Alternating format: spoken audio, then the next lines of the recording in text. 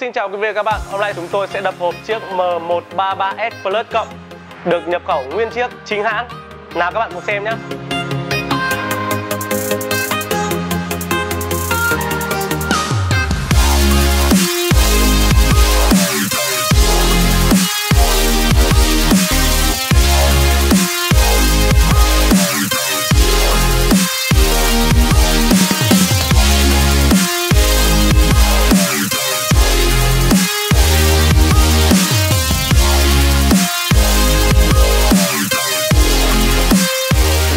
Là chúng tôi vừa đập hộp xong chiếc M133S Plus cộng